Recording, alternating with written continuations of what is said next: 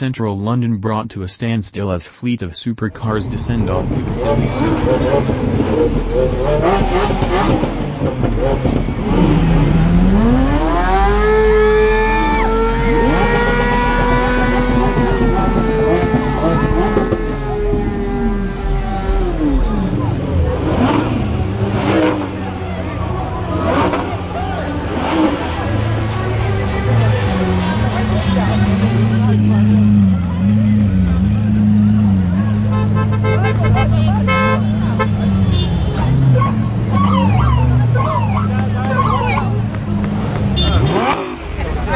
Central London brought to a standstill as fleet of supercars descend on Piccadilly Circus.